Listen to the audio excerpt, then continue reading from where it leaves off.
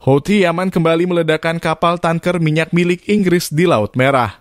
Ledakan besar terjadi saat rudal Houthi menyasar tepat sasaran terhadap kapal Cordelia Moon. Kapal tersebut diselimuti asap dan api menyebar ke atas langit. Video detik-detik Houthi meledakkan kapal tersebut diunggah dalam telegram kelompok tersebut pada Jumat 4 Oktober 2024 Houthi mengatakan serangan tersebut dilakukan dengan menggunakan kapal tak berawak. Kapal Cordelia Moon mengalami kerusakan parah akibat serangan itu. Peledakan itu merupakan bagian dari operasi militer Houthi terhadap kapal-kapal Amerika dan Inggris.